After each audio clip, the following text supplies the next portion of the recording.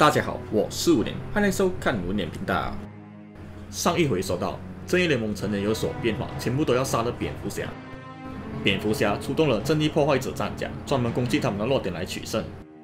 这时出现了蝙蝠侠最不想遇到的对手，就是超人。超人举起了硬物来压制蝙蝠侠。克拉克，听我说，你必须要抵抗他，必须突破他。超人眼中只有目标，没有一丝退缩，只有意愿。这时，蝙蝠侠对自己说：“该为自己的生命而战了。”蝙蝠侠一拳打了超人，在战甲的每个关节上都安装了微型红色太阳，从死掉的太阳系里收集而来的。蝙蝠侠不停手连打超人，把他打陷入地底去。超人飞离开地底，那么普鲁斯打架起来谁会赢呢？蝙蝠侠还是超人？超人发射出他的热视线攻击蝙蝠侠，不过蝙蝠侠在这件战甲装备的离子护盾可以变转热视线。还有了动力纵横超人的冰冷呼吸，所以来吧，克拉克，尽全力上吧！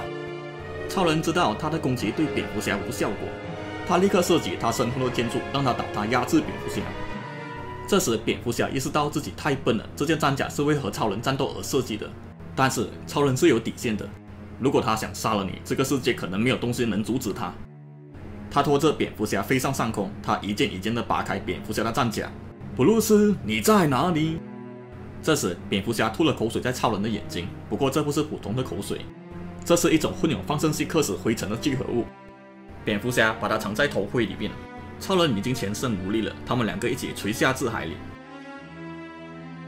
正义联盟成员全部都在治疗之中，需要花大概五天时间来治疗。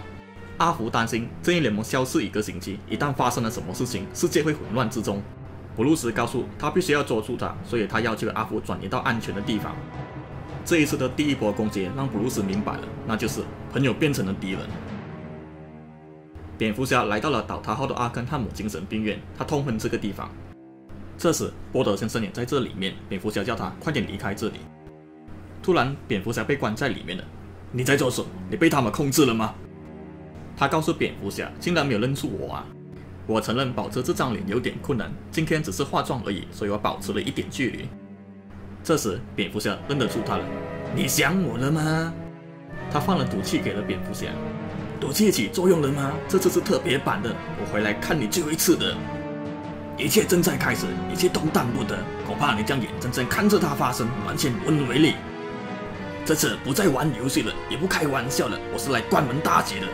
我以为我们在一起很快乐，但不是。你让我觉得很讨厌了。我猜我是因为太了解你了。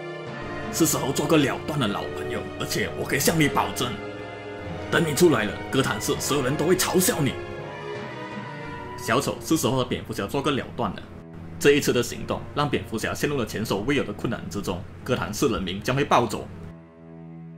如果你想知道接下来故事，就按赞或者留言给我，然后订阅我，帮助我突破五万大关。你们的存在就是我的动力，感谢你们的收看。